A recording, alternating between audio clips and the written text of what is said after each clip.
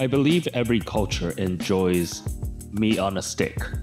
Every country kind of has their own version of a kebab or a skewer.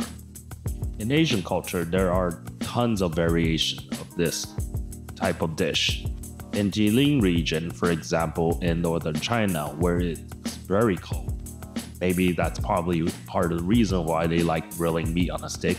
But they do have a lot of restaurants are focused on an item called sao which is basically meat cooked in a variety of ways, whether it be fried in oil, cooked in soup, or grilled over a fire, and is basically served in droves and wonderful with a nice cold beer.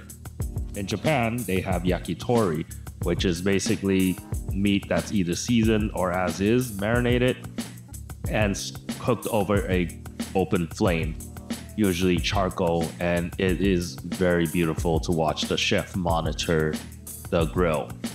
But Japan food tends to make everything into art. In this version, I decided to take my influence from a Vietnamese dish called Bo La Lot, and I believe this is basically grilled beef wrapped in perilla. And it's a dish that you could eat by itself with a Loc Nang sauce, or you could wrap it into something that looks like a spring roll. So I basically, but for me, I basically took pork belly and I decided to marinate it in a miso marinade and I wrapped it in perilla leaf, which I had available um, because I used it in my last video.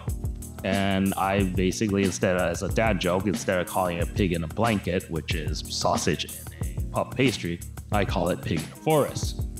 And I had this dish accompanied with some side dishes. And if you like this episode, please like and subscribe. Enjoy.